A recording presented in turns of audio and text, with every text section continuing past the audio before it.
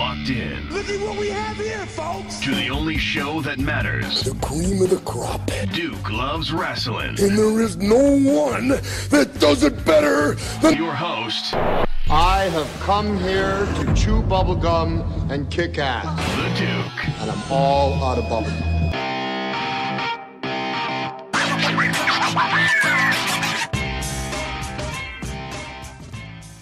folks, when when pro wrestling is at its best, I mean, when when it is absolutely firing on all cylinders, it's not difficult to understand what's going on there. You know, the, you as the audience don't have to work too hard to figure out who are the people that we want to cheer, who are the people that we're booing, who are the bad girls and guys, who are the good girls and guys.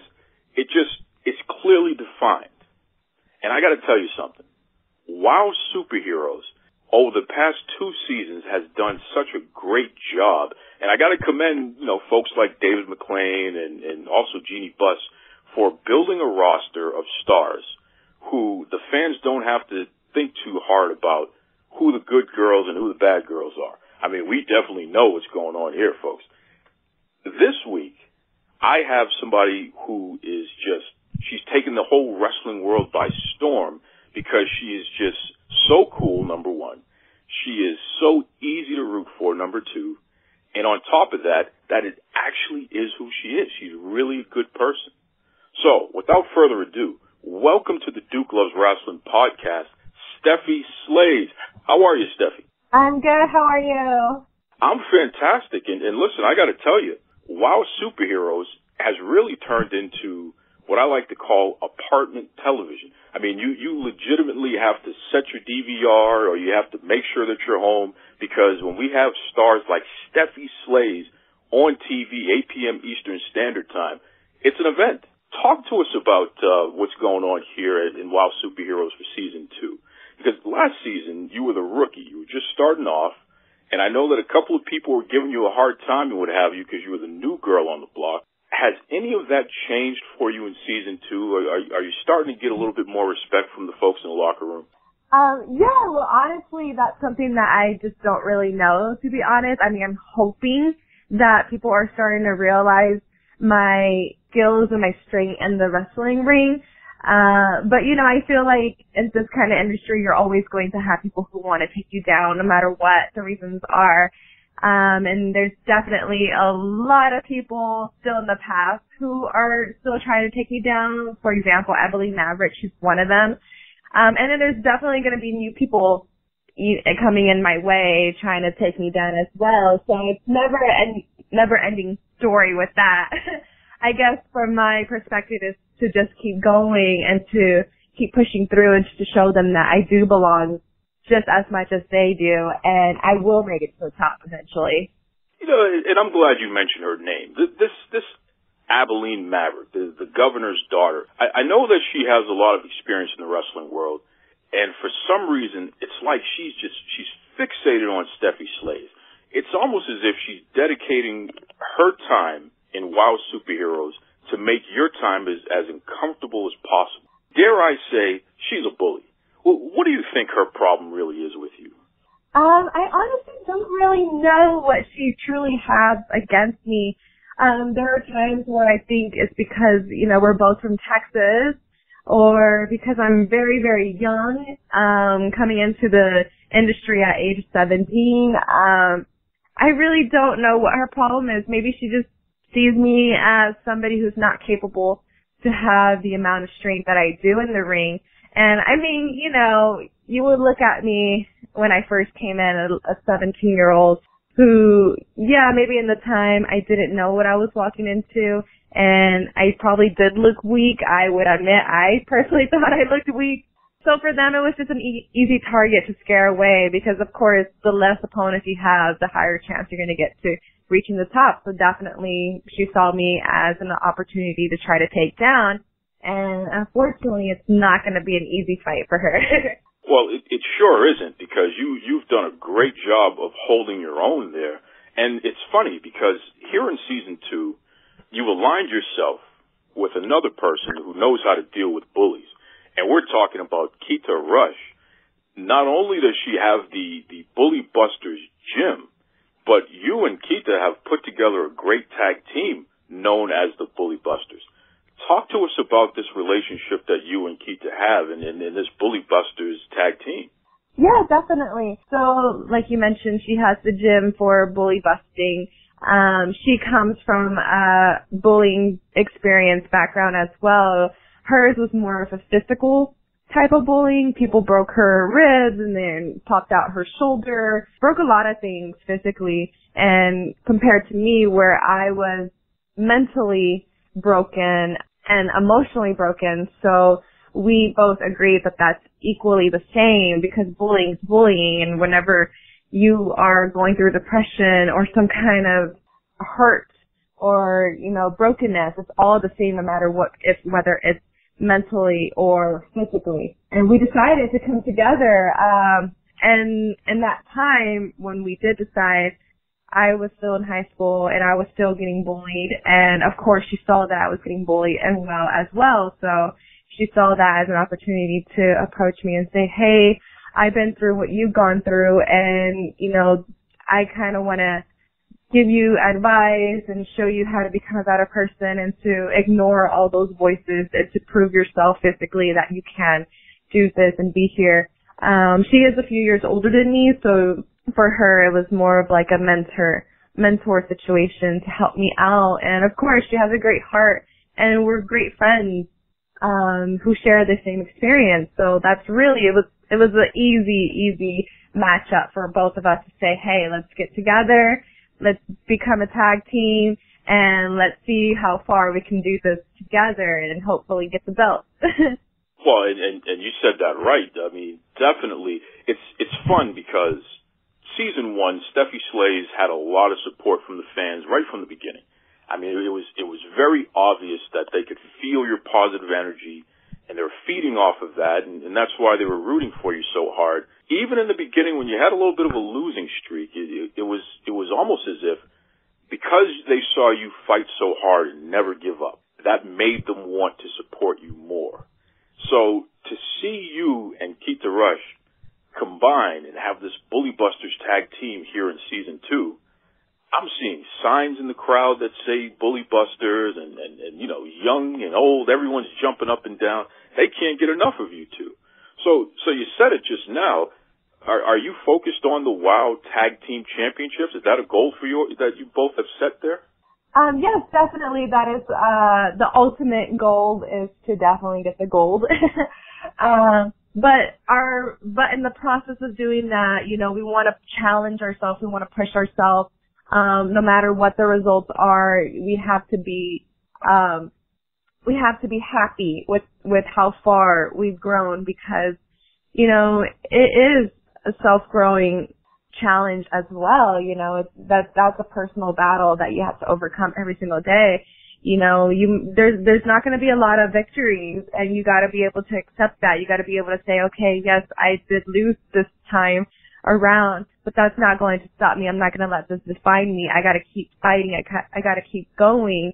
And it takes a lot of passion and determination to have that kind of mindset. And you have to be strong. And for me, dealing with, you know, a mental problem, for me, that's my actual personal goal is to not let the negativity and the disappointment stop me from doing what I love. And I truly love the sport and I just gotta keep pushing myself and keep going. Yes, I would love to have the belt and so would Keta, but overall is our health and happiness and strength for ourselves.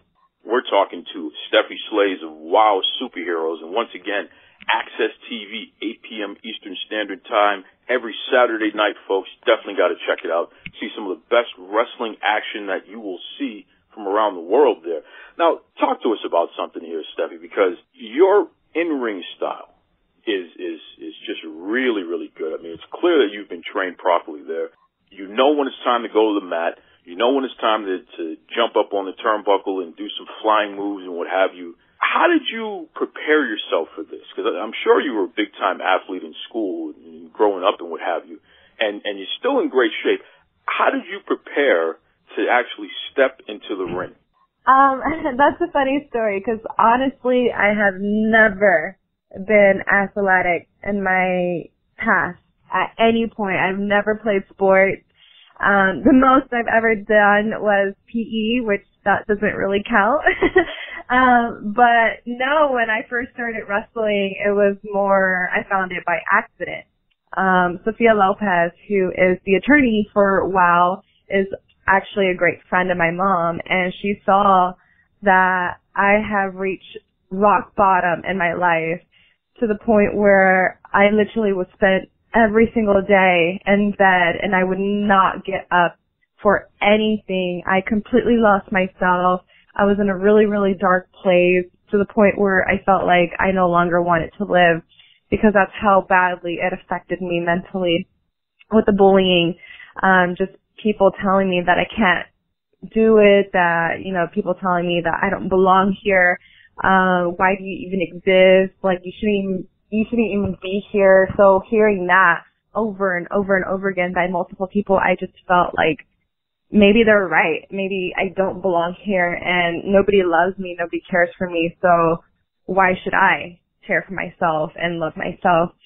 Um, so Sophia, she recommended me to start doing something physical with myself to help myself get out of depression and start bringing positivity and, and life back into me.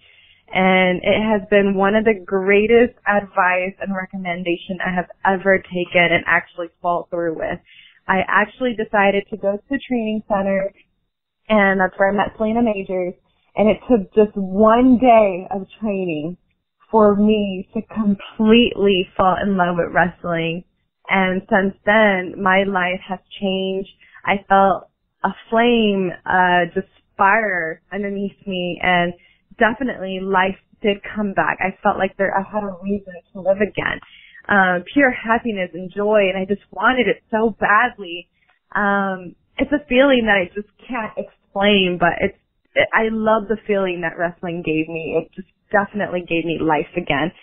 And I, I was a, I was a little 17 year old who had a spaghetti body, very, very unflexible, unstrong, just noodly. and it was definitely one of the hardest and longest journey I have ever taken, um, to become any kind of athlete. Like I didn't know what a diet was. I didn't know how to work out properly but thank God I had Selina Major there as my coach and trainer to push me through. And it wasn't easy. I had multiple, multiple breakdowns in the middle of the ring in front of Selina. I would start crying and telling her, I don't belong here. You know what? I'm, I'm a complete loser. This is not for me. Um, you're putting your hope and, in something that's never going to happen. And wow, she has never let me down. She would not take any of that for an answer. She said, you are worthy, you belong here, you deserve this kind of lifestyle, you deserve to have a great life, and I'm gonna make sure that you accomplish this life, um, with pure happiness and joy, and she did. She helped me get through it, and you know, of course, I'm still learning. I'm still constantly going to training. My life is very, very packed. I go to school from 7 to 1.30 every single day. And then I go straight to Selina and train with her from three to midnight. And that's just pretty much my life. wow. being in the ring. Yes. That is, that is a, a stacked schedule and that's a heck of a story there. In fact, you, you know, we had Selina Majors here on the Duke Loves Wrestling podcast, uh, right before season two of WOW Superheroes on AXS TV began. And I remember Selina Majors uh, growing up. I mean, she is a tough customer.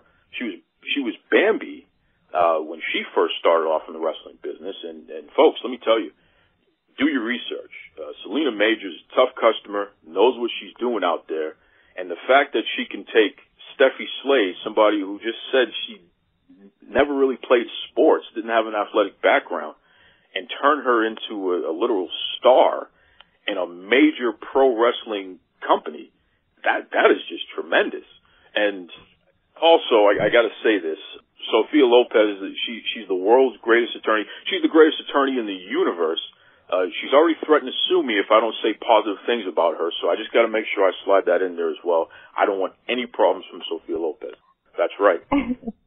so, wow. So you didn't you didn't have an athletic background. What are the things that you're in? You you say that you you go to school. What are you studying in school? Um, I'm actually in med school right now, so definitely I'm going towards the OBGYN department. and easy wording, it's pretty much pregnancies and the mommy female department. so definitely I huge on, you know, providing care and love for people who need it. And it's something that I love doing. I just love helping out others and trying to find ways to solve a problem if there is a problem. If, and if not, definitely the pure joy of life. So that's, that's something that I'm, I love to be a part of and what I'm studying to do and just can't wait to start. Um, hopefully in the next summer, I'll start my externship and be able to be around that environment as well. And it's not going to stop me from wrestling. Nothing's going to stop me from wrestling. But at the same time, I want to be able to achieve other goals and dreams, and that's definitely one of them. I worked so hard, uh, spent so many years in school. I literally dedicate my life to my family, my school, and my wrestling. That's all I live for right now. wow. And, and so, listen, Abilene Maverick, the governor's daughter, I hope you're listening here because Stephy Slays, after she, she busts you up in the ring, you know, she's going to give you some love and care. She'll pat you back up. Uh, you know, she, she can, she can break it and then fix it. So you, you keep it up and we're going to get Stephy Slays, the wrestler and the, the medical professional to take care of you. That's right. Oh, That's right. yes. Now, now, you gotta be careful because we have only a limited amount of hospitals here in Texas. So if you get on my bad side, I might not want to fix you, Abilene Maverick. Uh, talk to us about something here because correct me if I'm wrong, but but you're Latina, right? Yes, I am. Okay, so this is this is really really interesting, and and, and follow me here on this. I, I'm older than you, and I can remember being a young person and, and watching TV, prime time, which we call prime time, 8 p.m. Eastern Standard Time, folks. I can remember watching prime time TV, and it was very rare to see a woman of color, a Latino woman, a, you know, a black and Asian woman, a woman of color on TV, starring in a series, and she's in a strong leadership role presented in a positive way. It was very rare to see that on primetime TV uh, for me growing up. Fast forward now to 2019, and we have someone like Stephy Slays, a Latina woman who's strong. She's standing up to bullies. She's setting goals and she's achieving it, and she's doing it without compromising her morals. She is she is an inspiration for others to look up to and follow. How does it feel to know that you have young people, including young Latina girls, watching you on primetime TV and saying to themselves, wow, maybe one day I can be Stephy Slays. Oh, yeah. Honestly, I still don't know how to express that kind of feeling. Like you mentioned, um, you, for example, growing up, not really seeing people like me on primetime television hour, um, I can only imagine what it was like to live in a time like that. I had never experienced anything like that. Um, so to hear you and my grandma, my mom, you know, other people telling me the same thing, you know, you should feel so proud of yourself to be on prime time as a color woman. Um, it's just such a humbling feeling and and I sometimes get very emotional about it because all I can only experience it through the way how you tell the story and the way how you look at me while telling telling me the story. Um, I don't have you in front of me, but I could just feel it. I could feel the emotion and and the your feelings towards you know from your voice. Um, so it's definitely such a great honor to know that people from the past had worked so hard to come to this point so that people like I can be represented in a positive, positive light in front of millions of people on national TV on prime time. And Um, the one thing that my grandma would tell me all the time is that she worked so hard for her, throughout her whole entire life just so I can have the ability to walk my life in such a pure light. And my goal is to hopefully live up to that standard as well so that people from the younger generation can see me and see that wow, she's doing all of this stuff um, and she has she has problems as well, but she's not allowing her problems to overcome her life anymore. She's allowing pure joy and love to run her life and and to chase the dreams. And I definitely hope that I'm doing such a great job to encourage you know people from the younger generation, even in the older generation. There's a lot of adults who are lost and don't know who they are, and hopefully my story can touch them and and they can relate and realize, wow, that's the same situation I'm in, and if she can get out of it, so can I. Um, and it takes it to the next level to be Latina, uh, because a lot of people throughout my whole life would tell me that I would never be able to do it. You don't have the ability to to make it this far, and here I am, hustling and pushing through, and not allowing any of those people to define me anymore like they did in the past I'm defining myself and I'm standing up for who I am. And being Latina is definitely um, one of the main things. You know, um, this month has been filled with amazing news for myself and my family. Um, it is the month of the Latin heritage um, community right now, so celebration of all Latin all over America and and the Latin countries. Um, I guess one of the biggest things that I'm very proud of is my grandmother. She is 82 years old and she finally, after being in America all of my life, I'm in my 20s, she's been in America longer than my life. And after all these years, she finally became an American citizen. And to have her here with me and to have her experience everything that I'm doing with me and to see me on television is such a great honor and I just, I get a little bit emotional about this stuff because like you said, this is things that people would never imagine to come to. And here she is, an American citizen at an older age, but you know, she's here and she's seeing her granddaughter on prime time television. And it's just a beautiful experience to go through. What a tremendous family story there. Oh my goodness definitely shout out to the whole family, the, your siblings and, and parents, aunts, uncles, and shout out to grandma becoming an American citizen at 82 years old. That that is unbelievable. Wow, no no wonder you're so motivated and, and you get it done out there so well. You, you, you come from some some great family there. Yes, I do it all for them. that is that is impressive. That is impressive. So so tell everybody, uh, uh, what can we expect from Stephy Slays, from the Bully Busters. What are we going to get in season two of WoW Superheroes? Because you're just you're so motivated and, and you're so uh, focused on accomplishing goals. What are the main things we're going to see in season two? Definitely, you're going to see a lot of improvement from Keta and Stephy. We are up for the challenge. We're taking bigger opponents, quote unquote, stronger opponents, but they don't know the strength that we're going to bring to the ring. And no matter what, we are going to be who we say we are. We are the bully busters and we're not going to let anybody stand in between us and tell us that we are not worthy to be in the ring and we're going to prove them wrong. And whether we take victories or not, we're going to show them who we are and do our best in the ring. Yeah, and I'll tell you right now, folks, if you've been paying attention, they sure have been. The, the bully busters are taken WoW Superheroes by storm. Stephy, if if the fans want to follow you on social media, let let them know where can they go because I, I know one thing that you do. You definitely pop up during WoW Superheroes, 8 p.m. Eastern Standard Time, AXS TV every Saturday.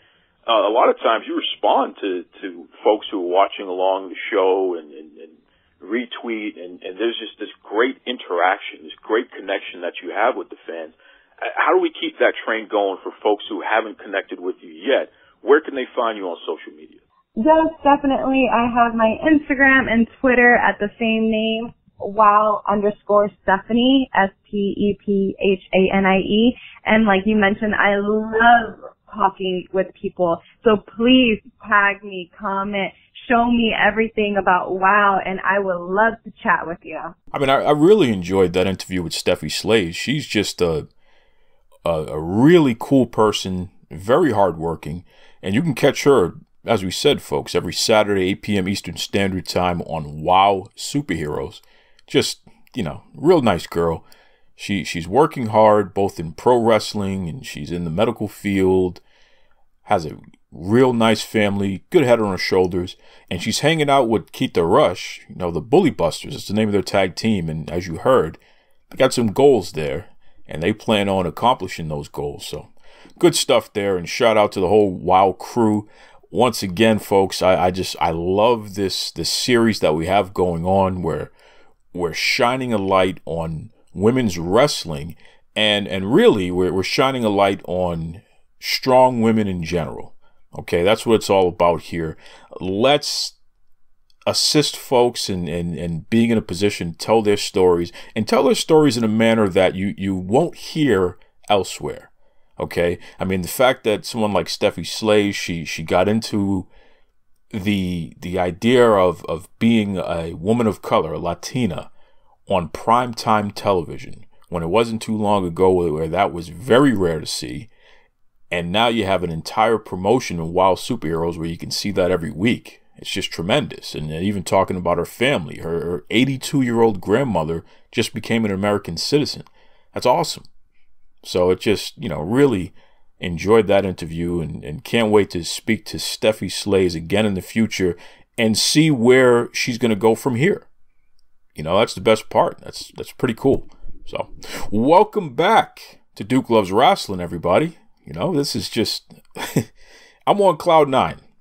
I have to tell you, I am on cloud nine. This has just been a tremendous, tremendous season for pro wrestling and boxing and, and mixed martial arts.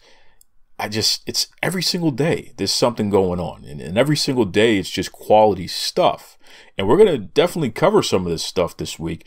I have a special guest in, in Susan Cingari, who, you know, I'll tell you right now, she's one of the people that I go to for my, my MMA news, but there's a lot more to her than just that. She's an Emmy Award winning journalist, and you're going to definitely hear her story real soon.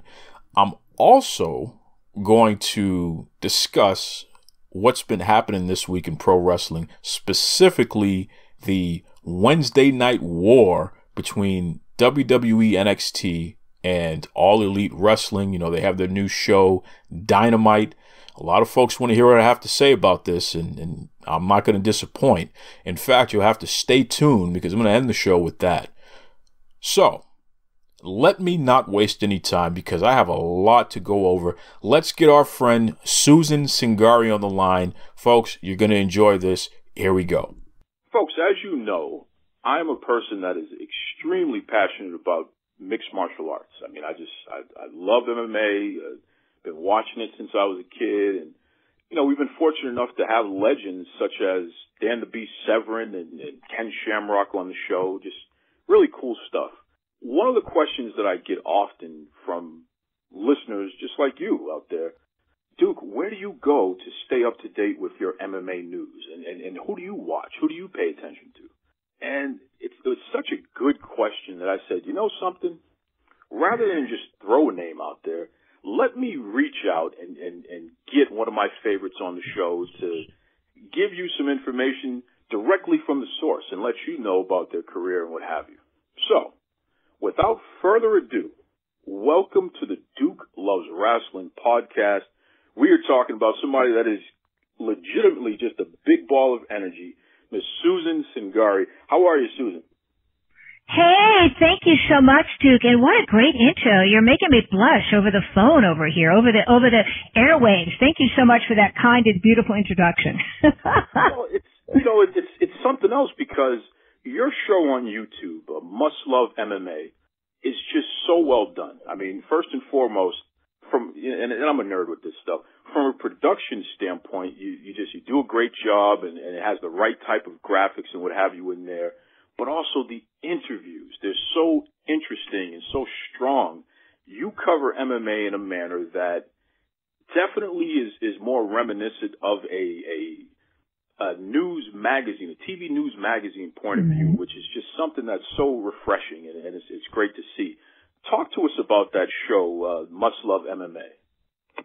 Well, you know, it's funny. I don't really know how to do it any other way, Duke, because I come from a broadcast television news background. And when you work in broadcast TV news and you, you work for regular shows, regular broadcast shows, not on the internet, you really have to think about the the production value is so much different. So uh, we were taught that you can't write to video unless you have the pictures. So the classic example is, because I worked years in television news, is you don't put somebody on a live shot, so to speak, when you watch your local news. You would never go to somebody to talk about a burning building in a live shot where they say, hey, guess what? Behind me is XYZ building burning. You don't go to the live shot unless you have the pictures to go with the video. So it actually takes me a lot longer than most people to probably do my interviews because I cover every single thing I can find with video. And I actually go ahead of time looking for little tidbits on Instagram and, and dig deep within YouTube to find that one little nugget that will make the person stand out as an individual. When I first started working in MMA, which was about seven years ago as a part-time person, and I took the leap from leaving regular broadcast stuff, working for Entertainment Tonight and Fox News Channel, you know, all my friends were like, MMA is a bunch of tattooed animals so to speak. My mother, uh, a Bostonian like yourself, was like, "What are you going to do? You're going to go down to a gym with these with these people?" So I really wanted to make people understand, and that's the tagline that every fighter has a story. They're not these tattooed, sort of lower class people that seven years ago many of the people thought they were. I mean, we know that Chuck Liddell, if I'm not mistaken, has an accounting degree. Haim Gozali is a well-known person in Israel. We'll be interviewing her first in a few in a few days, actually, for fight November. He was a he was, ran a security company. Not all these people are sort of the the impression that we saw. And actually, my impetus for this was, and I'm not sure which um which which one it was, but it was um Rashad versus Rampage, and they were against each other and gosh, what is the name of that club? Dana White's going to kill us. We can't remember the name of the reality show, but it's been off the air. Help me out here. I think you're talking about the Ultimate Fighter. Ultimate Fighter. Oh my God. Sorry, Dana. Please don't ban me from all your, your all your media in the future. Ultimate Fighter. yeah, because you know that's not very cool. It just hasn't been on this year, and so I haven't watched it. We miss it. Um, but Ultimate Fighter was on, and it was Rashad versus Rampage, and I was struck by the drastic comparison between them. You had good cop, bad cop. And I didn't know Rampage. I didn't know anything about him. But Rashad was this sort of classy sort of good cop and Rampage was this classy sort of non-existent rather bad cop. And I just knew in my heart that there was something else going on. So I pursued that and I really try and I really want people to understand that every fighter does have a story. And, and when under that banner, it's a promoter, it's a, it's a trainer. I mean, these guys and gals work so hard, as you know, Duke. They don't really, not all of them succeed at the top. Many, many of them are working two jobs, training at night. Julian Lane is, we have an interview with him coming up. He's working out like a maniac for Bare Knuckle FC.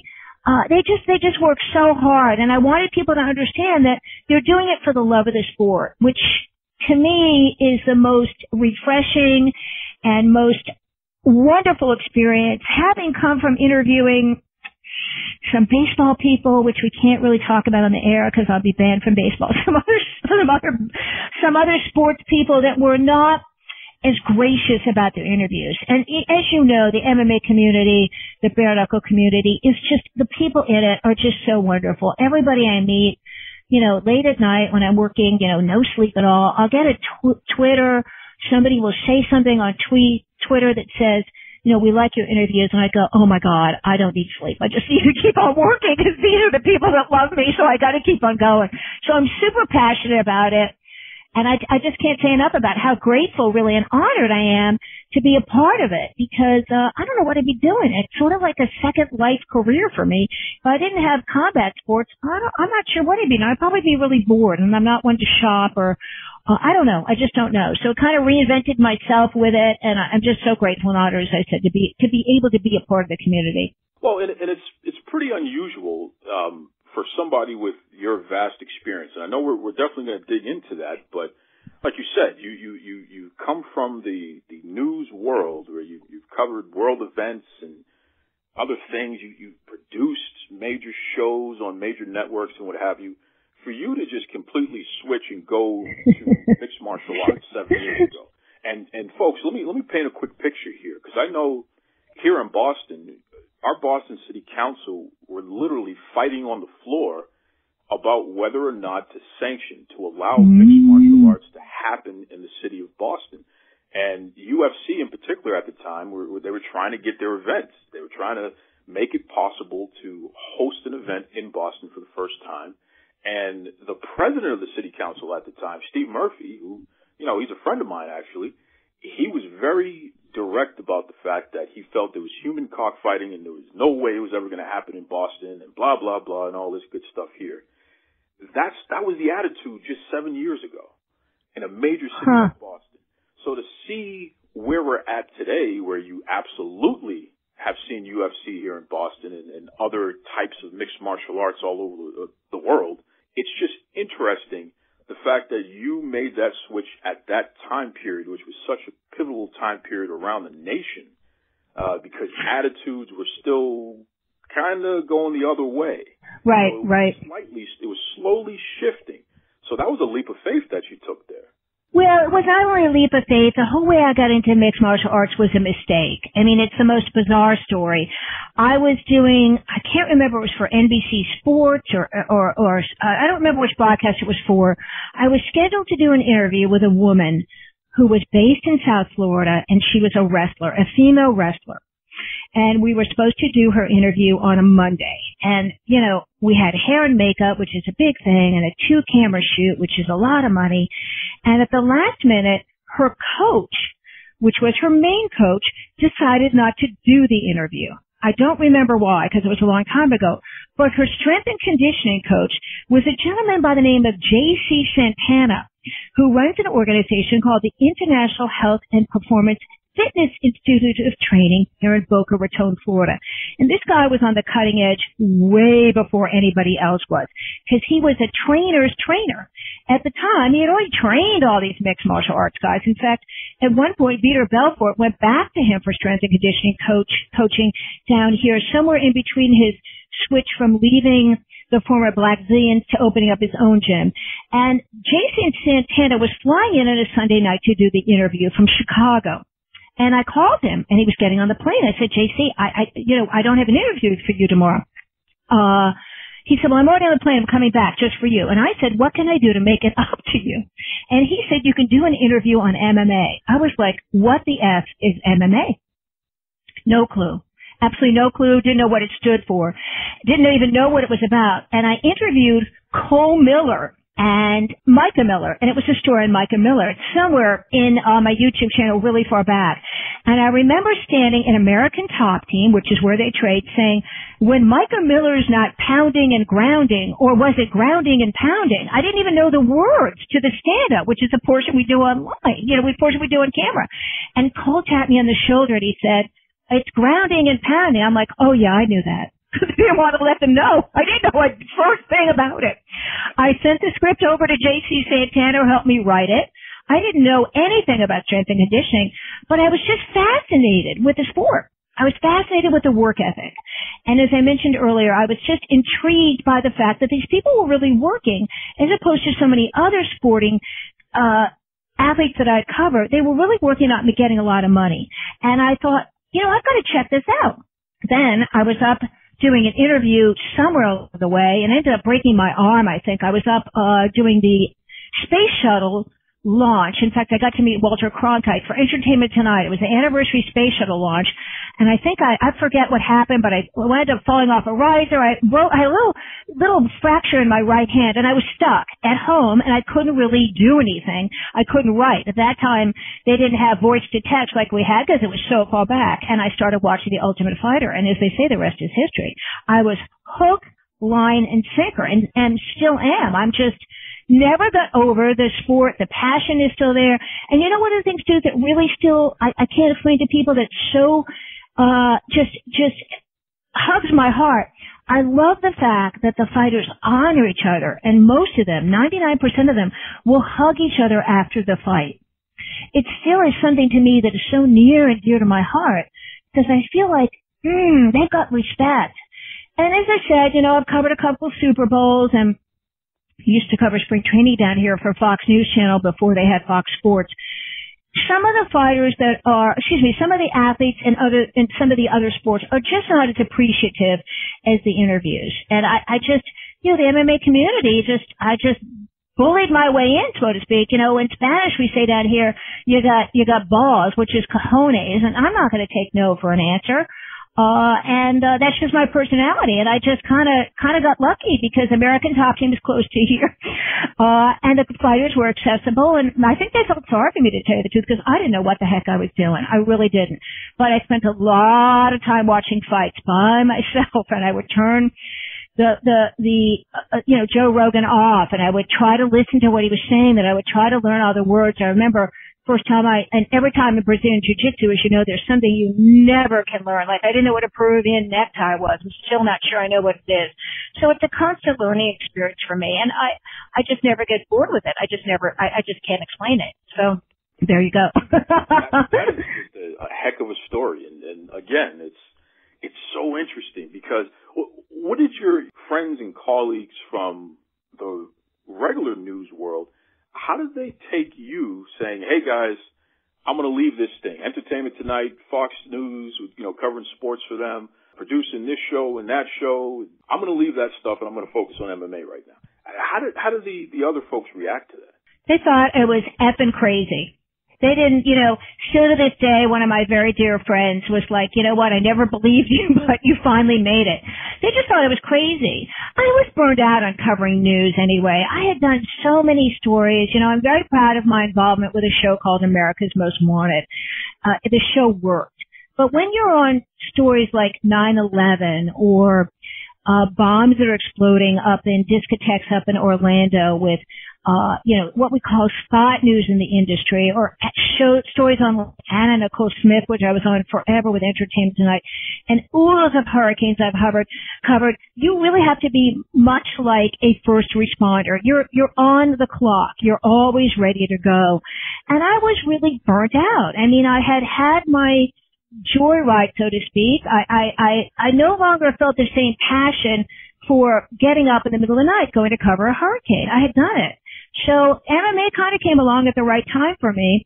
I still do a lot of work for Entertainment Night. Some of the other shows I will will run out, you know, and do some interviews for, but I just don't have the same passion for it. I think that that level when you're doing what we call spot news and breaking news as we call it is probably better left to people who don't uh who are a little bit younger than me and still have that passion for it. And there's a lot of people in my industry that love it. I have a wonderful cameraman by the name of Tony Zimbardo, who is a former Marine, and he was the camera person that broke the story uh, at Hurricane Katrina. You can look him up. He's the one that talked about the fact that people were living in their own disaster there at the uh, at, at I think it was the auditorium or whatever it was during Katrina because I was actually covering Katrina down here. He was the first to report all the horrible things that were going on at, at, at Hurricane Katrina in New Orleans. He still loves it. He still loves to get up in the middle of the night at three o'clock in the morning. For me, if it's three o'clock in the morning, I'm watching the post-fight UFC press conference. Give me more, baby. I'll stay up for that, but I don't want to get up at three o'clock and go cover a, a national disaster. I was just burnt out. Wow. And, and you know something, who can't relate to that? Who can't relate to pouring your, your heart and soul into whatever career you have, and, and especially if it's something that you have some longevity mm. within, you went to school for this thing. This is, this has been your life for, for a, a long period of time. and yeah, you get to the point where it's like I need something new. I I, I need Yeah. excitement. I, I need to look at different faces. I need to to find my passion again. So I, I totally understand what, what you're saying there. Let me ask you a question. Well, well, first and foremost, you you mentioned um, Spanish. Are, are are you Latina? No, I'm not. And for the Spanish people in the audience, I always say the following. Mi cuerpo está italiano, which means my body is Italian. Mi corazón está latina, which means my heart is Latin. And mi cabeza está loca, which means my head is crazy. I'm a wannabe Spanish gringa. I love the language. I am I just love the people. I love the culture. I actually went down to Univision and Telemundo and applied as a reporter. But when it's not your first language and you're working in live television, you're a step behind.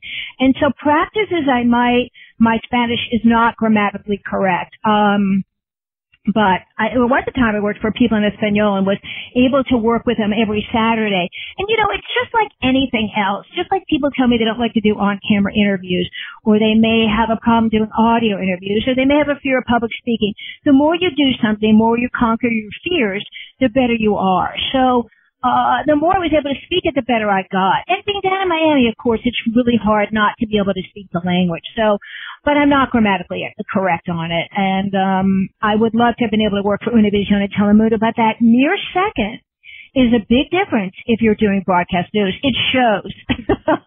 and my last name for those in real Spanish in Cuba and in Mexico, my last name means a very bad swear word, chingar. And I don't know if I can even tell you online or on the, on, rather on air what that means. So your viewers can go look that up because chingar is like, it's, I can't say it. It's, it's a terrible word, but some of your viewers will have a laugh on it because it's a very bad, uh, it's a very bad swear word. And it's actually, I guess I could say it, it means to F-U-C-K in those two countries. The rest, the rest of the world, it means everything positive.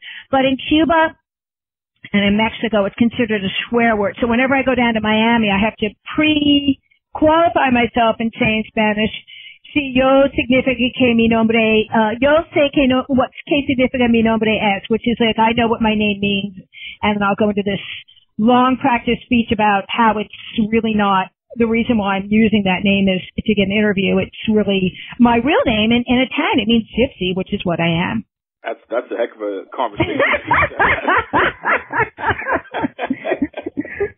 but but no, I, what I was going to ask you though is, is is as a woman who is literally you're you're all in on this these interviews. You do a lot of these live interviews and what have you, taped interviews.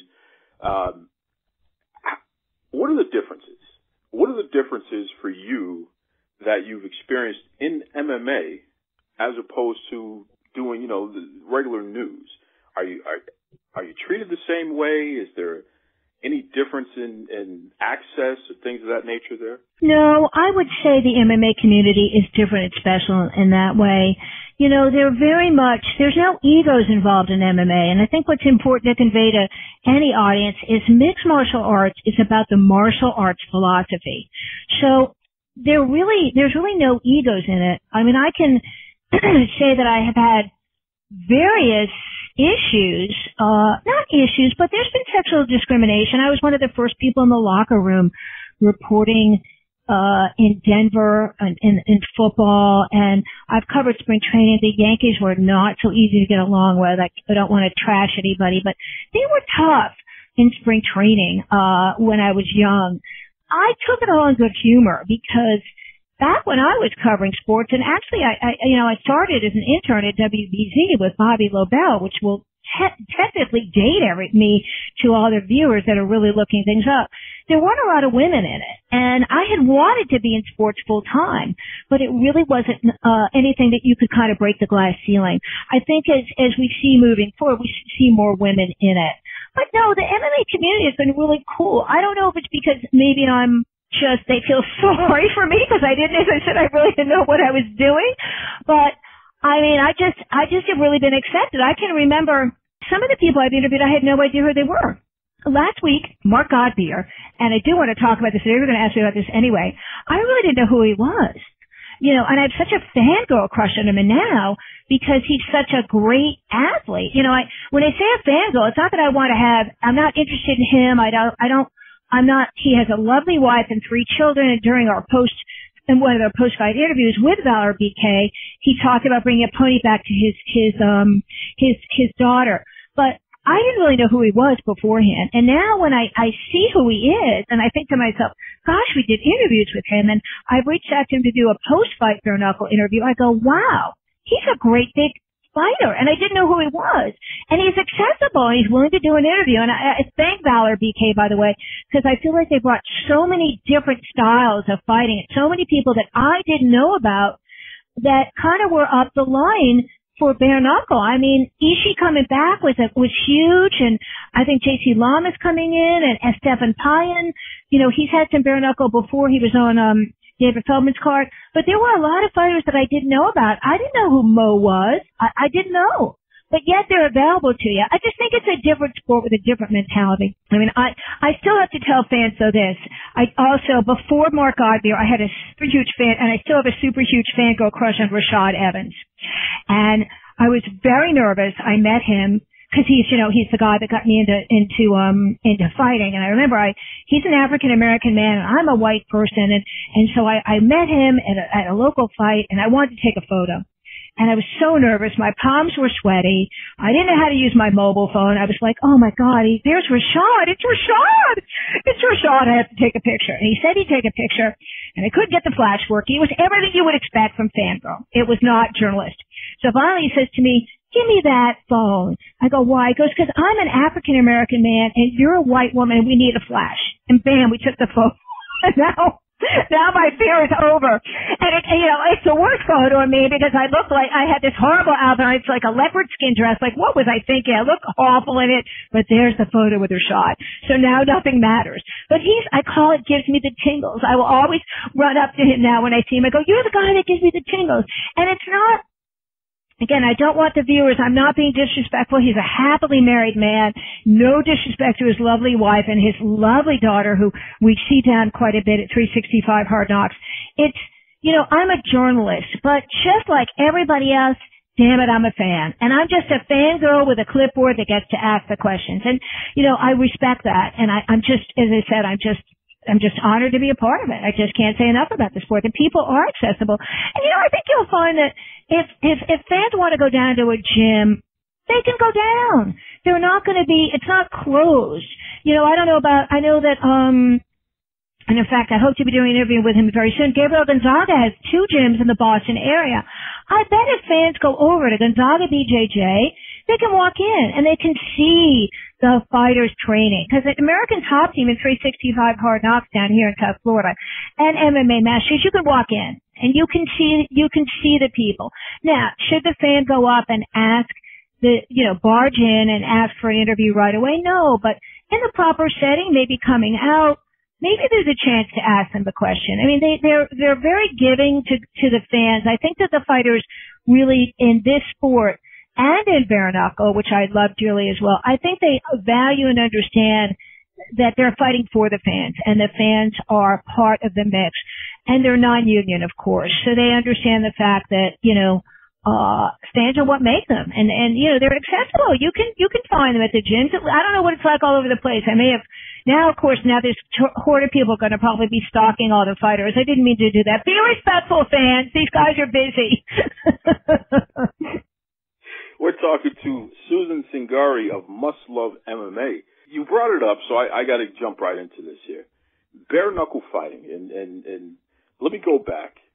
I'd say about right around six or seven years ago, I noticed that uh, Hall of Fame legend Ken Shamrock, he was he was talking about the desire to start a bare knuckle fighting promotion and, and how bare knuckle was really the purest form of MMA and you know, get rid of the gloves and, and, and the skill was different and it would be something that he felt would, would really catch on.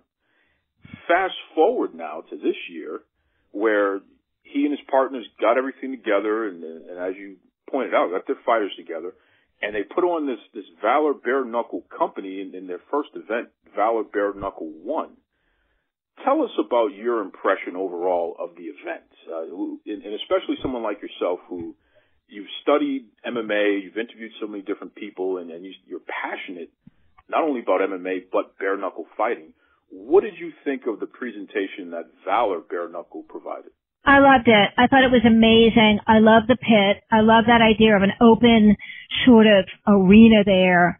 Uh, I love the fights. I thought they were really interesting. I think the pit itself, you know, I wasn't sure what it looked like till we saw it. I didn't have any, any pre information on it myself. I saw it just as the fans saw it the night before we had a picture of it.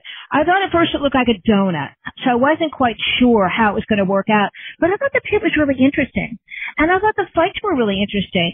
Um, you know, I just think it's it's just a one punch knockout thing. And as Godbeer mentioned in one of the interviews we did with him ahead of time, you know, it's a different sport. And I'm now, you know, the same way I'm crazy about MMA, I'm even more crazy about bare knuckle because it is so pure and it is so, I guess, gritty and it is so just gloves off. You know, and, and so actually bare knuckle, as you know, came from England where there's quite a number of pr- promotions over there, including BKB16 and UBAT that have been doing it for a while. And they have some terrific fighters over there. I like it because it reminds me of one of my other favorite fighters. I just like it because it reminds me of Michael Bisping. And Michael Bisping is kind of that in your face and Brad Pickett too. I don't give an F. I'm just gonna I'm just gonna kick your butt. I'm just going to fight you and I'm just going to win the fight. So I think it's in, in effect, it's one of the purest forms of combat.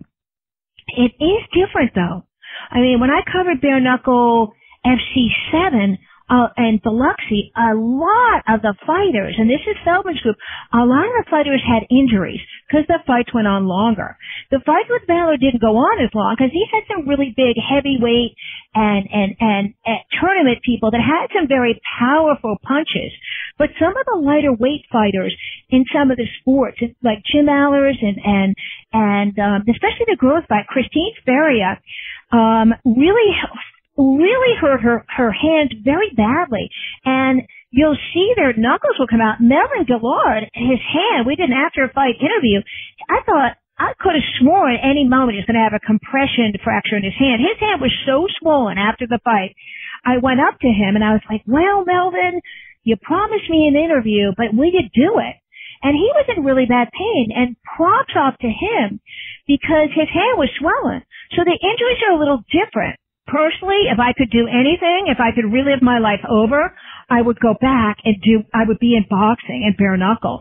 But it's just too damn expensive to get my face redone, so I gotta stick with reporting on it. But I like, I like boxing. I really like boxing.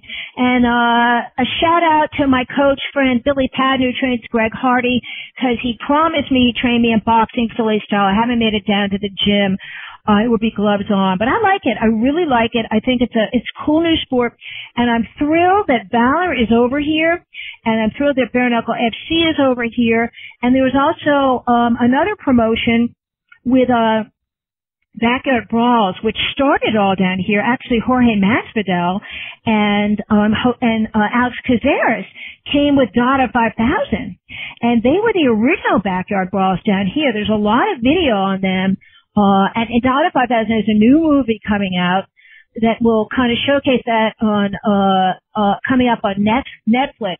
And you'll see that these backyard brawls, which he's a pioneer in, were really just two people kind of working their differences out because they just wanted to settle the score. And as we look back in history, that's kind of what James Sullivan was doing it. It was a gloves off gentleman's fight. They were just settling the score. So to me, it's a fascinating news uh, sport one that I, again, I'm honored to be involved in and one I will, I'm continuing to follow and, um, learn new terminology because toe the line was anything I heard before and some of the other words and, uh, that go along with bare knuckle. It's a whole new, and it keeps me fresh. It's a whole new language I'm learning about the bare knuckle rules and the bare knuckle punches and the strategy that goes down with it. Well, and it's funny because I, I believe it was you. You had an interview with Ishe Smith after his fight uh, with Valor, and he said exactly what you just said. He talked about the fact that his knuckles were swollen. And right. here's a guy who is a boxer.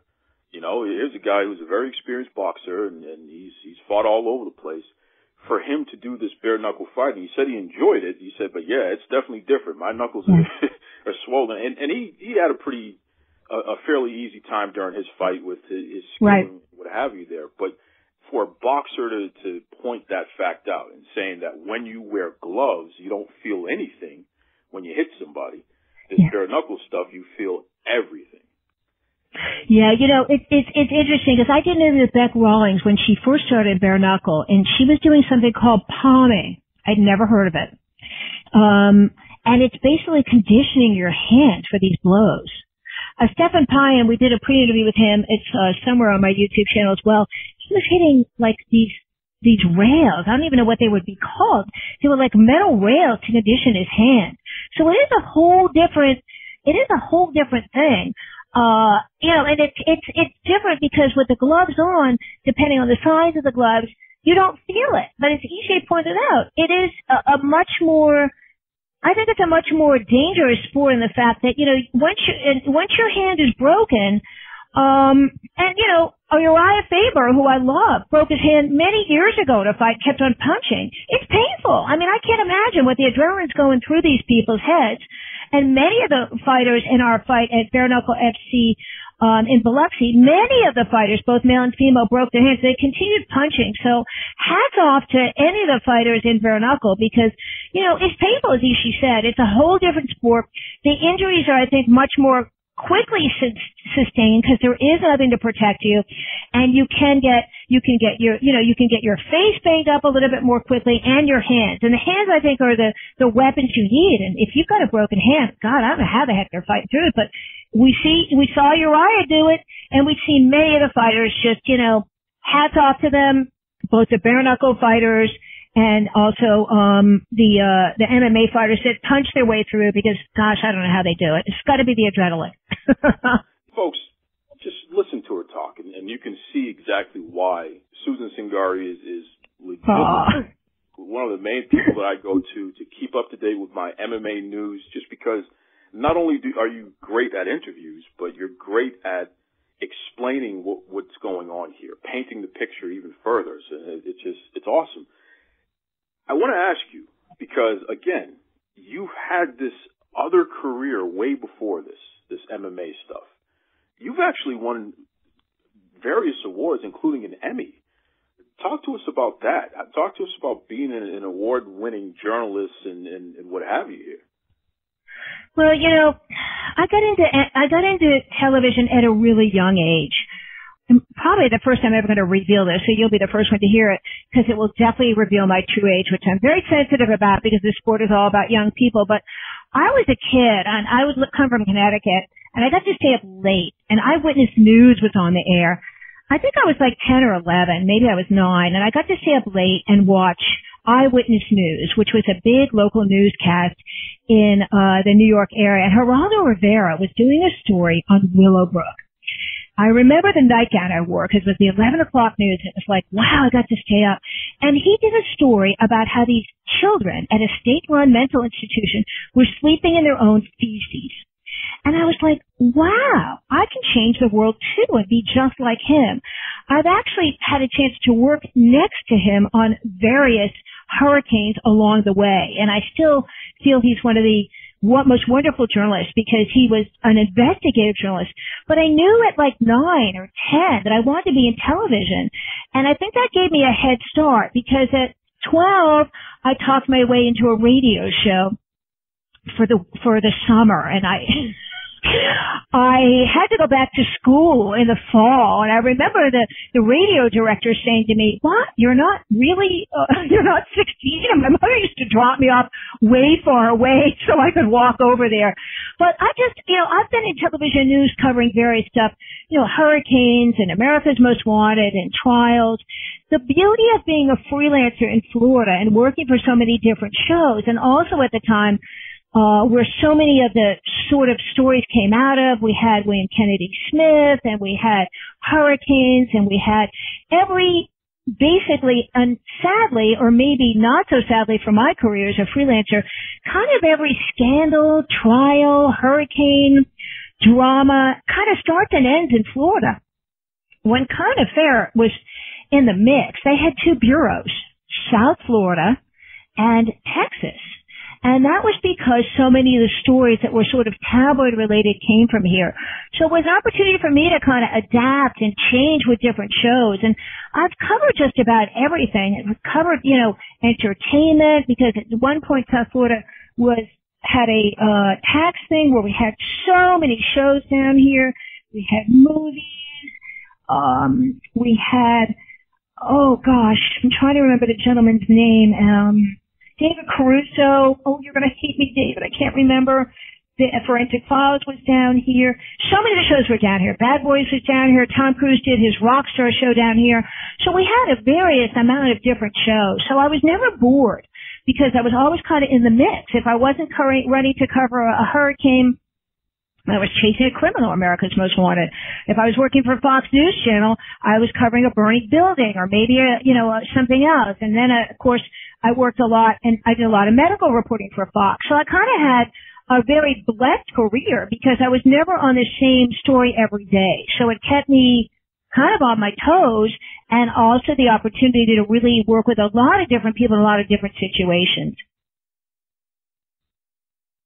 Well, it, it, and it's interesting because again, you you had all of that variety, and and you were gaining so much experience, and then you you win an Emmy. I mean, legitimately, your, your, peers, you're being recognized as excellence in the field. How did that feel? How, how did it feel to, to, to gain that type of acknowledgement? Oh, it's always great to win an Emmy. I actually won my Emmys at a station in in Colorado. Um, you know, listen, those are just, it's like you're only as good as your last fight, right? And you hear the fighters say that. You're only as good as your last broadcast. They mean really nothing to me. And you know, people will say you've had such a storified and glorified career. You've interviewed this person and that person. At the end of the day, you're only as good as your last fight, your last interview, your last story, uh, your last, you know, your last your last of everything. So to me, it's just, you know, it's great, it's wonderful, but, you know, behind every great reporter is a team of people. I don't do this alone. I have editors that edit my video, uh, and I love them. I have cameramen that, that, that are amazing. You know, one of the things that's, that's, that's different now as we move forward is that I came up at a time where there were people that you weren't a multimedia journalist. You didn't do everything. You know, you were, you had a camera person and you had a, an editor and you had, uh, an audio person with you. As things have progressed and as things are live on Facebook and things are live on YouTube, I've had to kind of relearn all the technical stuff over again. Uh, I did, by the way, and props to you. I did try to audio edit. I don't know how you folks do it. Uh, I wanted to make my voice lower. I wanted to make it higher. I just gave up on it. Uh, so audio editing was never my thing. And I do know how to video edit quite a little bit, but I do have a team behind me. And, and I think, uh, I, I think it's important to understand that behind most of your broadcast people, there are more than one person in the mix. And I, I'm so grateful how those people, including my hair and makeup artist, who make me look young, thin, and tan. And that's a damn challenge as I get older in the industry. well, listen, you you definitely check all of those boxes very well. So whatever, uh, you know, if it, if it's a, an effort that is a team effort, then great job, everybody, including yourself, because it works. I, I can't imagine that your YouTube channel wouldn't be as, as popular as it is unless you were looking as fabulous as you look all the time. So oh, it takes a whole, it takes a team for that. Believe me, it takes a makeup and hair team. No lies. so you're a Renaissance woman. You you you've like you said, you've done stuff with Fox News. You've done stuff with America's Most Wanted, Entertainment Tonight. You got the MMA thing going what's next? And, and, and come on, you can you can give us the inside scoop here. I will give you the inside scoop. Um, you know, it's funny because I look ahead and I say to myself, what am I going to do when I'm just too old and tired or fat to not be on camera anymore? And there's a time where that happens. You know, not all of us can be beauty stars ten years from now. I'm sticking with MMA and and, and bare knuckle. I plan to this is it for me. Some people get divorced and, and, and get married. Some people have a change of life baby. I'm in this hook, line, and sinker. You know, folks, I do, and I want to share this. I offer free media training on Sunday to anybody in the combat sports industry, whether you're a trainer, whether you're an up and coming MMA or bare knuckle fighter, this is my gift back. And you just have to find me on Skype at Susan Cingari and follow me and DM me and I'll do it. I would like to moving forward, I'd like to, um, first off, I'd be honored if I could manage fighters. I don't know if I'm that qualified to do it. I think I can pick talent. Uh, but I'd like, I, I would be honored to be able to manage fighters. I'll definitely go into PR and marketing.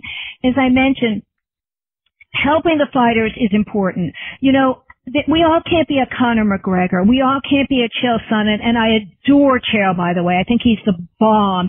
And thank you so many times for your interviews. We can all be good on camera.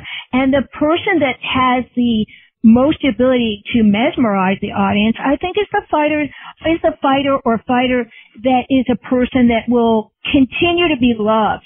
So I would like to go into managing or PR or both. Um, I'm sticking with the game for a long time. You know, I wouldn't mind moving forward to be involved in the promotion of the sport. Don't count me out. A couple of years from now, you know, you'll see my name in, as a bare knuckle promoter. I'm not qualified for MMA, but bare knuckle is growing. And, um, I do want to be involved in the sport. So kind of the sky's the limit for me. I just feel like I'm in it. I can't live without it. Uh, and I'm just going to continue with it. Again, I just want to say thanks to everybody in the fight community for allowing me to be a part of it. So, so tell everyone out there, please, if if they want to get more Susan Cingari in their life, plug all your stuff. How, how can they find your, your multitude of, of great things, including your awesome website, which has your credentials. It talks about all the great people. You you've interviewed presidents and athletes and everybody under the sun give everybody the information. How can they find Susan Cingari out there? Well, I'm going to be honest. I monitor myself. I answer.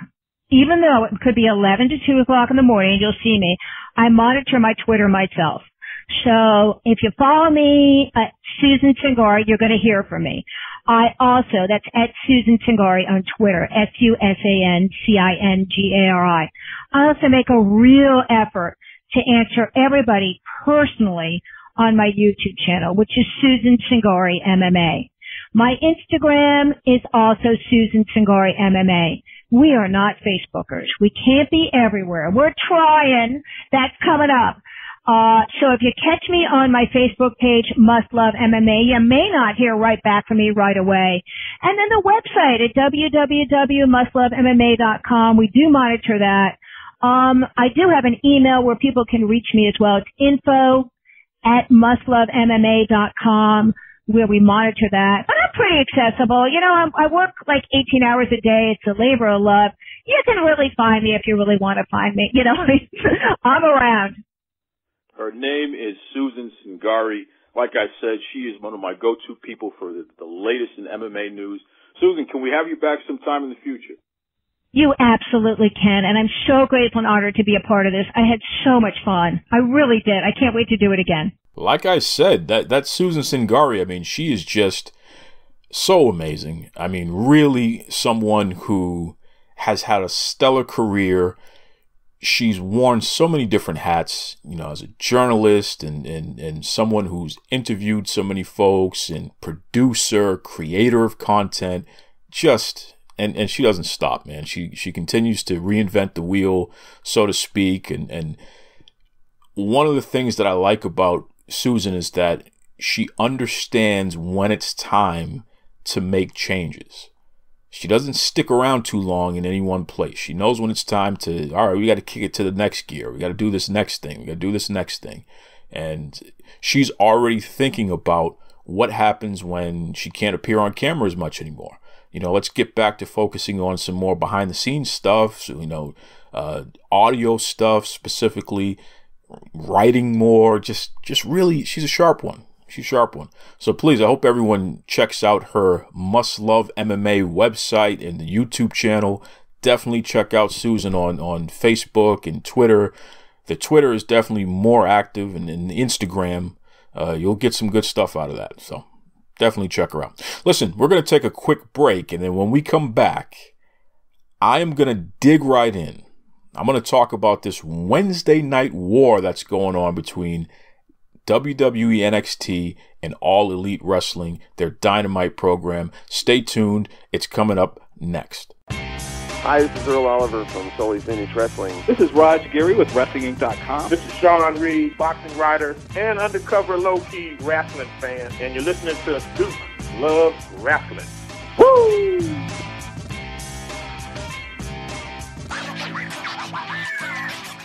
All right, your wait is over.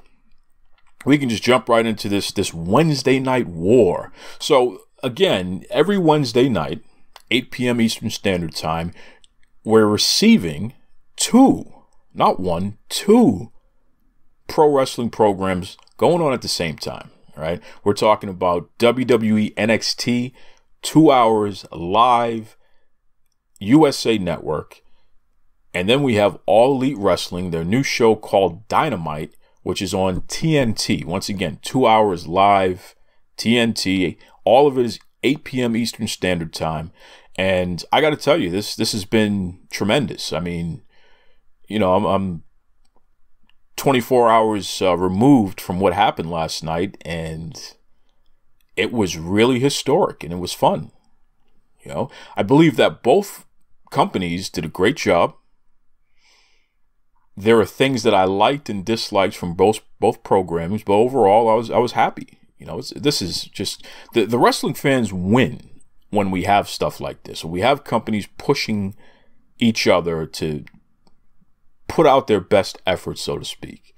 You know, and let me start off with AEW Dynamite because I, I just want to say in particular, I, I, know a lot of folks are talking about the the television ratings and, and AEW actually allegedly they they had more people watch their program than those who watched NXT, and there's a lot of celebration around that.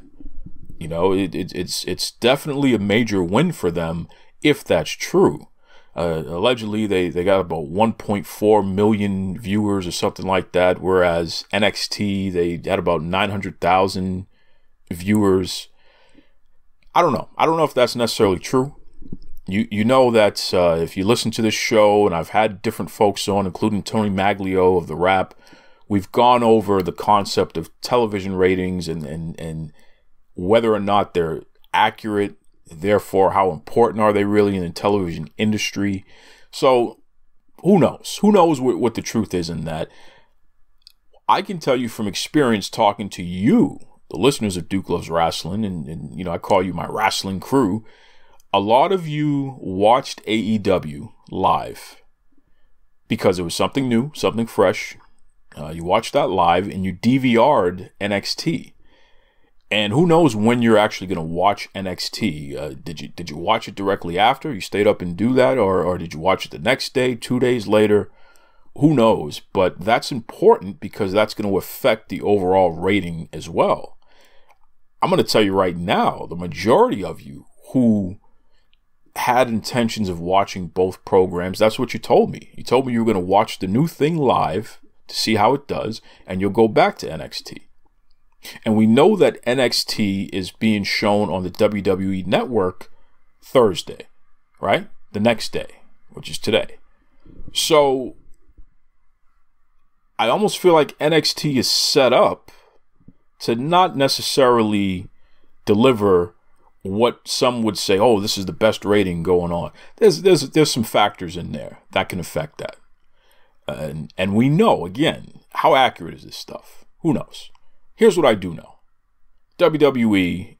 When you watch NXT and you see the brands that are advertising during NXT, some top-notch brands, and we know that they're going to be making a lot of money, right? It's like thirty million dollars a year or something like that.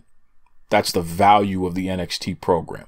I'm still waiting on the information on, on AEW Dynamite, how much money that's expected to take in each year, but we know that's what NXT is going to take in. That's a done deal, right? So, this whole ratings thing, you know, just keep it in perspective, especially in, in terms of business. Now, again, I give AEW credit. They definitely they were trending number one online. They were number one in Google searches. They kicked WWE NXT's butt in that regard. it's fresh, it's new. So that doesn't necessarily surprise me, to be honest with you. I expected to see that. Um, I enjoyed some some things with Dynamite. I enjoyed the commentary, number one. I thought Jim Ross and Tony Schiavone, they're just tremendous. Love those guys. They're the best. Soundtrack of my, my wrestling life. Excalibur, he held his own. He's definitely improving, which is great. Great to hear. The production, the production of, of AEW, you know, just the, the, the, the visual aspect of everything was very, very good. It was it was lit up. It was beautiful to see. Very, very nice. Whoever's the production folks you're doing a great job. Keep that up, please. The referees did a great job. I enjoyed what they were doing. They didn't take away from the matches. I felt they enhanced the matches. But there were some things I didn't like. I felt they were a little short on in ring wrestling content. Definitely felt they could have delivered more of that. I didn't like the fact that there was only one women's match. You know, that that didn't make any sense to me. It's, you have a two-hour program. You couldn't fit at least two women's matches in there. What's what's going on here? But you're going to take women's wrestling seriously, though, right? And it's going to be equal, right? Stop that. So I was a little disappointed in that. Uh, I I didn't like all the the interference going on in the matches as well. I, I felt that we should have had more straight matches that you just you know definitive. All this other extra hokey stuff didn't make any sense to me. For instance, in, in the main event, Johnny Moxley, the, the former Dean Ambrose, he attacked Kenny Omega. That should have been an automatic disqualification. Should have been an automatic disqualification, and that was not the case, which I was very disappointed about. Okay, so whatever. I think the, these are things that can be solved. I just hope that AEW gets to a place where they're delivering with their marketing. Specifically, we need more women's content, and we need it on the television program every week. So that's number one. And number two, I want to see some some men of color in one of the top six positions, challenging, battling for the AEW championship. We still don't see that. Cody Rhodes is the number one contender now. Oh, great. Okay. I don't even know how that happened. Whatever. We still don't see this this thing here. And again, they're supposed to be this diverse company. Where was Sonny Kiss last night? I don't know. I don't know. So some things they can work on and it can be fixed. It's not the end of the world yet. It can be solved, but I don't know what you're waiting for, AEW. Just come on, you know?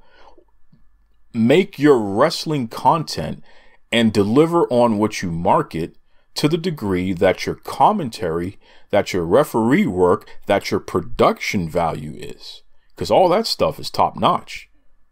It's whoever's building everything else. They don't. They're not making any sense. I don't know what you're doing with Ny- Nyla Rose. You, you buried her, which is silly.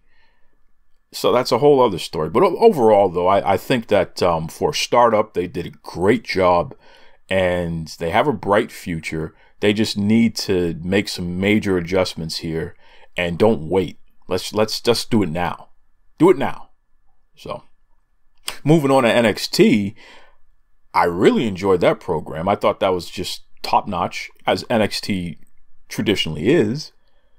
I can tell you, I'm watching the beginning of the of the show, and what do I see? I see a wrestling match, and I don't see a lot of a lot of fluff, a lot of a lot of wasted time. They just jump right into it, and it's the, and it's the championship match, NXT Championship.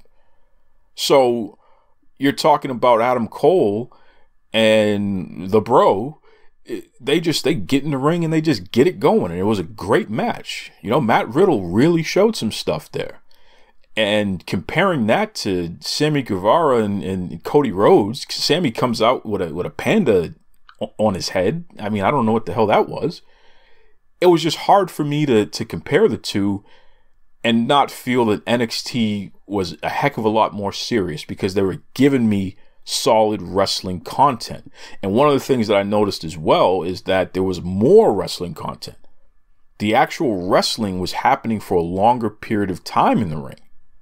They had two women's matches, and they were bust ass good matches.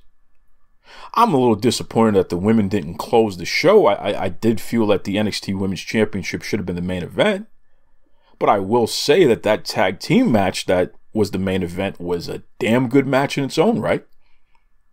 Street Profits versus Undisputed Era. That, that was just, I mean, damn, you know, that was good. Good stuff, man. So, again, I, I, I didn't like, I, I feel like the women should have still gone last. I feel like that should have been the main event. That would have been a great statement to make. And those ladies had a great match anyway. Shayna Baszler, she took on Candice LeRae, and, and Baszler ended up winning in the end. But it, was, it told a good story. It was a great match, and just, I enjoyed it. It's good stuff. You know, and, and Io Shirai, she took on uh, Mia Yim, and those two had a damn good match too. Mia Yim is back because her last outing before this was not very good, and she completely flipped that around and, and turned out a, a Mia Yim performance, which was very refreshing to see. So, you know, NXT is NXT, man. They're they're the best. They're probably the best wrestling content you're gonna see anywhere. Just really, really solid wrestling content. Not a lot of fluff. Not a lot of you know silly backstage skit storyline crap. Just they're giving you solid wrestling.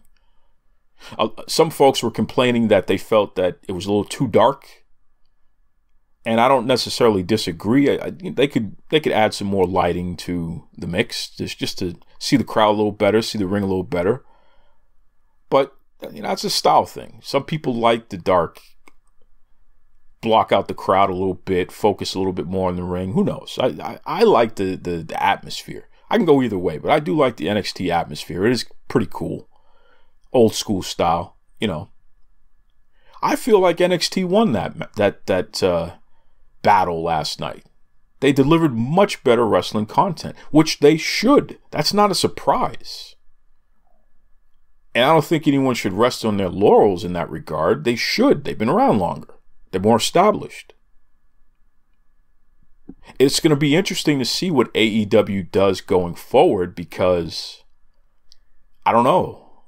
I don't know if you're going to maintain everyone's interest when that's the best you can do with your wrestling content. You got to do better. You know? NXT, they just got to stay the course. Plain and simple. They just got to stay the course. And I'm pretty sure that's exactly what the plan is. So, overall, though, I was very happy, very satisfied. Raw was amazing, too. Uh, Monday Night Raw, I mean, Bobby Lashley comes out with Lana to end the night with Rusev standing in the ring, and Lashley and Lana are making out.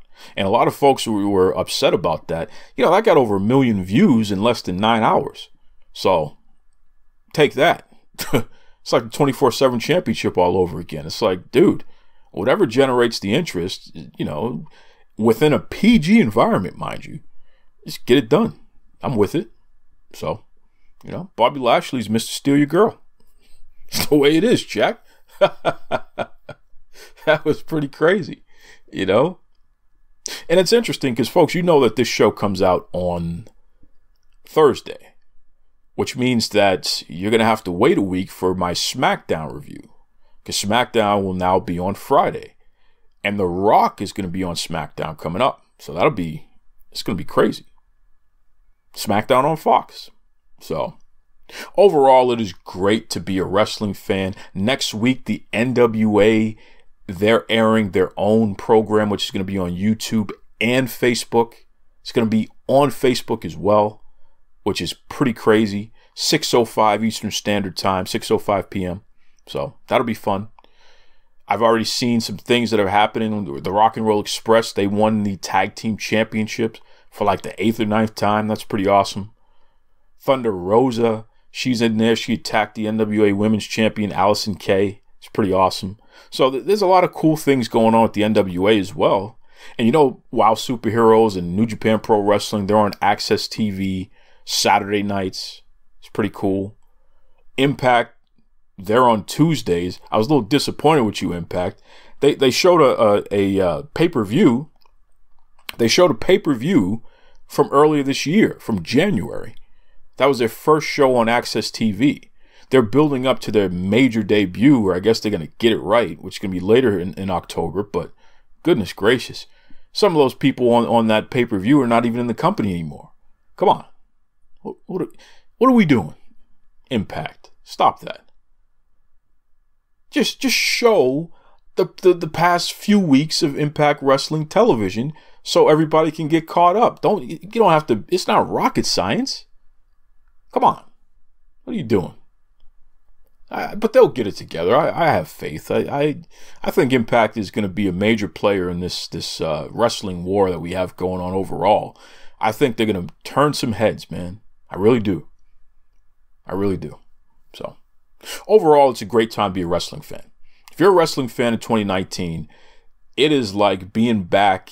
I, I feel like we've been transported back to 1986, 1987, when wrestling was on every day of the week. And that's the way it is now on, on network television. It's just, it's awesome.